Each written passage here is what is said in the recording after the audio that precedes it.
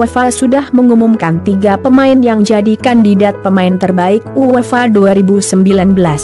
Cristiano Ronaldo dan Lionel Messi akan ditantang Virtual Dijk. Pengumuman itu dilakukan Kamis, 15 Agustus 2019, malam WIB.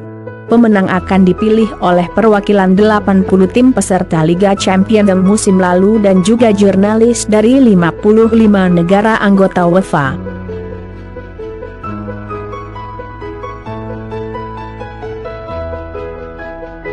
Seperti biasa, Ronaldo dan Messi selalu masuk dalam daftar kandidat pemain terbaik setiap musimnya.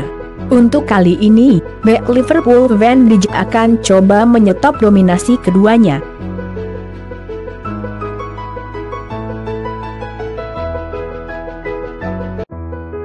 Van Dijk berperan besar mengantar Liverpool juara Liga Champions dan juga finish runner-up Liga Inggris. Gawang Liverpool bahkan cuma kebobolan 22 gol sepanjang musim lalu. Dia juga baru membawa Liverpool juara Piala Super Eropa.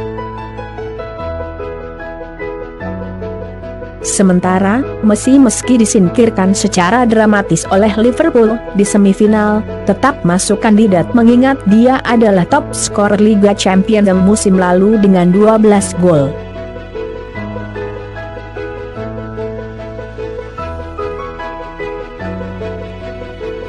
Ronaldo memang tidak begitu bagus prestasinya di kompetisi ini musim lalu dia gagal membawa Juventus melaju jauh setelah disingkirkan Ajax Amsterdam di perempat final. Ronaldo sendiri mencetak 6 gol.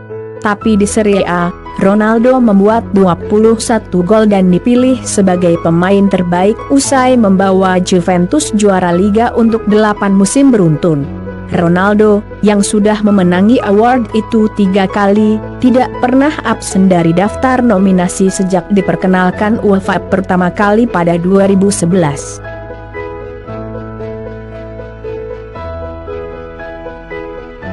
Di sektor putri, tiga nomine disapu bersih perwakilan Olimpik Lion. Kandidat pemain terbaik terdiri atas ada Geberg, striker, Lasi Bronze, bek kanan, dan Amandi Nehri, gelandang.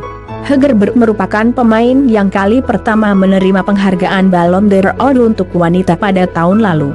Pengumuman pemenang penghargaan bergengsi tersebut bakal digelar di Monaco pada 29 Agustus bersamaan dengan undian fase grup Liga Champions.